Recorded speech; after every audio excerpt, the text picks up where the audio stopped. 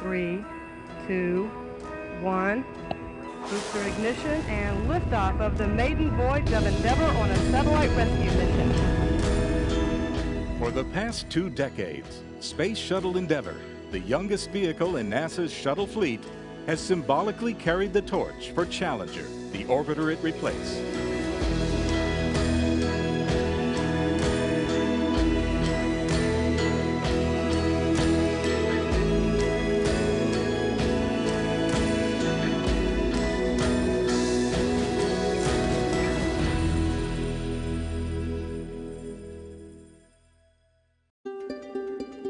NASA is preparing for the final flight of Endeavour, a trip to the International Space Station during a time frame in which astronauts and cosmonauts are celebrating the 50th anniversaries of the first human spaceflight by Yuri Gagarin and the first American spaceflight by Alan Shepard, as well as the 30th anniversary of the first space shuttle flight, STS-1 Columbia. This historic 25th flight of Endeavour will include delivery of the Alpha Magnetic Spectrometer, a unique instrument that is hoped to unveil clues to the origin of our universe as it searches for antimatter, dark matter, and exotic cosmic particles from the space station.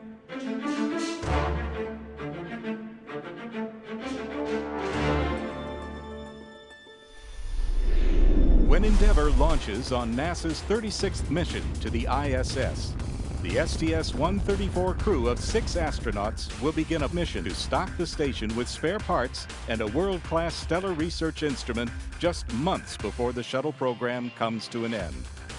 Endeavour will deliver the Alpha Magnetic Spectrometer 2 and the Express Logistics Carrier 3 to the station. This will also be the first shuttle flight to conduct a re-rendezvous, but not dock to the space station, to test the performance of new navigation sensors designed for the Orion spacecraft. During four scheduled spacewalks, Endeavour's crew will conduct the last spacewalks by shuttle crew members to prepare the ISS for its next decade of service.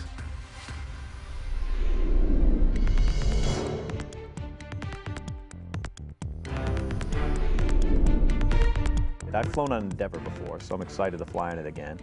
And my brother's flown on Endeavour. Navy Captain Mark Kelly is the commander of Endeavour's crew of six astronauts. He flew on Endeavour as the pilot of his first spaceflight, STS-108, in 2001. In January 2011, Kelly's wife, Congresswoman Gabrielle Giffords, was critically wounded during a community outreach event in Tucson, Arizona.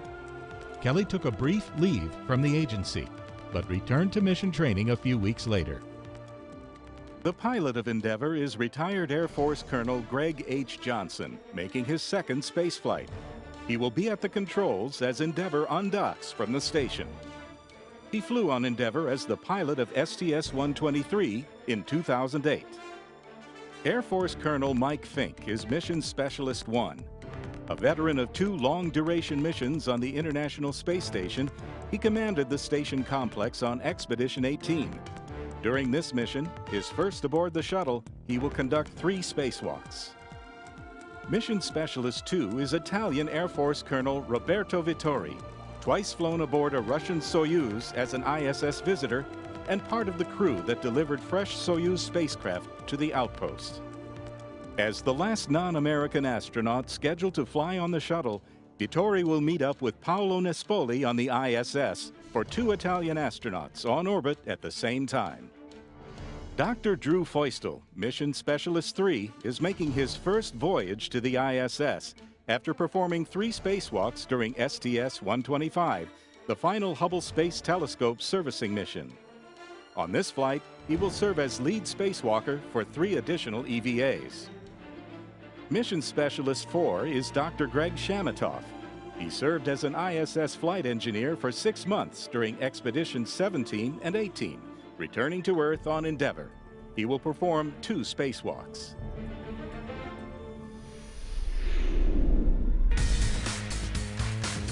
We've got a whole list of mission objectives, probably 30 things on the list.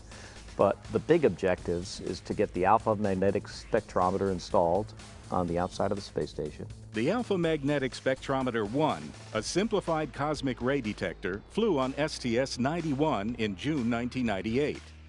The AMS-2 is a first-of-its-kind instrument designed to study the fundamental nature of the universe and will allow us for the first time to search for antimatter and dark matter theorized to exist. Nobel physicist Dr. Samuel Ting leads the team of over 500 scientists from 16 countries. I started uh, studying physics. Soon after I achieved my degree as a test pilot, I went back and complete my uh, degree. And ironically, uh, my teacher was uh, Professor Battiston, that is uh, the deputy chief of the AMS experiment. So it may appear as a, a, very strange coincidence that today I will be the one to take this unique piece of hardware, take it from the bay of the shuttle and uh, give it to install on the, on, on the station. On flight day four, Vittori and Feustel, operating the shuttle arm, will grapple the AMS-2 and hand it off to the Gregs, Johnson and Chamitoff, operating the station arm for robotic installation onto the station's S3 truss.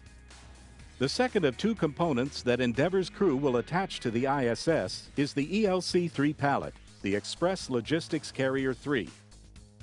ELC-3, similar to ELCs 1 and 2 delivered on STS-129, includes a full ATA, ammonia tank assembly, two SASs, S-band antenna support assemblies, and a spare arm for Dextre, the special purpose dexterous manipulator.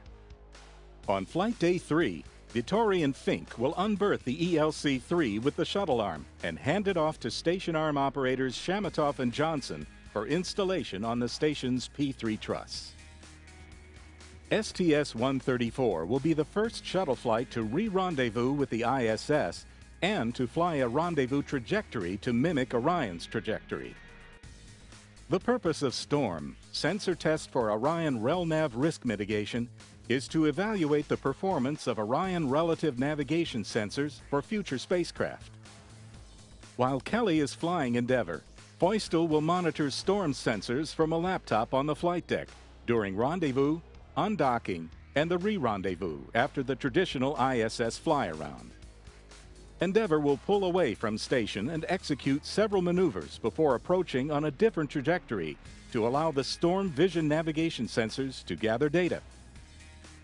Although Endeavour will not actually redock with ISS, it will fly to a close approach of 1,044 feet below and 300 feet behind the station before executing a third separation burn and departing station for the final time. Then when we come up back in front of the space station again, we're then going to do these series of burns where we're going to fall behind the space station, you know, a couple hundred thousand feet. And then we're going to come back in doing a profile that's actually quite similar to what Apollo used for a rendezvous.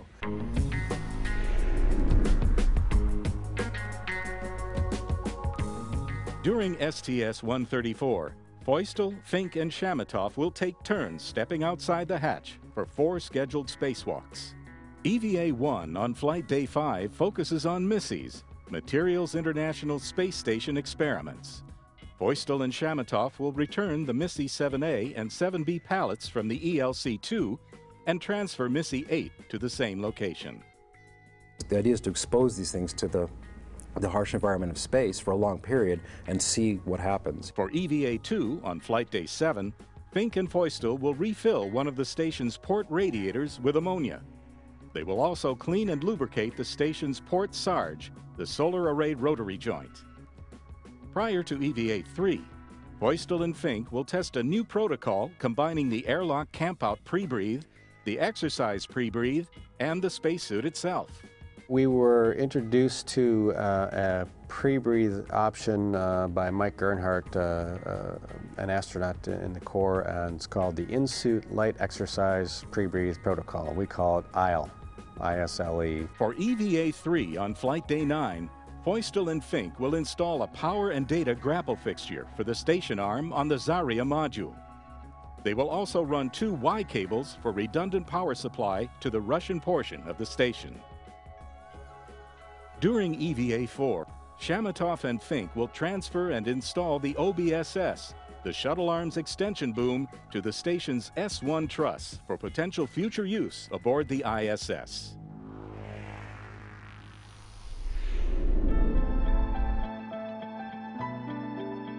We have come very far in the last 50 years from not being able to fly in space to landing on the moon and building this incredible facility in orbit and routinely flying you know, people up and down into low Earth orbit. It is amazing how much we've accomplished in 50 years, and it took so many people to make all that possible. It's an unbelievable honor to kind of be the representative of, of that generation of dreamers for, for me. We have a, a huge honor and responsibility to uh, make this the best mission that we can, to honor all of the engineers all the way from the pre-STS-1 uh, in the, the very beginning in the 1970s when we started to design the space shuttle. All the effort, the blood, the sweat, the tears that have gone into making the space shuttle program as wonderful as it has to, to fly on the penultimate mission and to do it well and to do it with, uh, with the honor of, of those that came before us.